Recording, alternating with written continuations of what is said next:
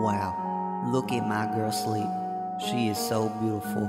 She is just like a heavenly angel, and I am a blessed soul for the bestowment of her angelic presence to my life. Mmm, sleep. Sorry.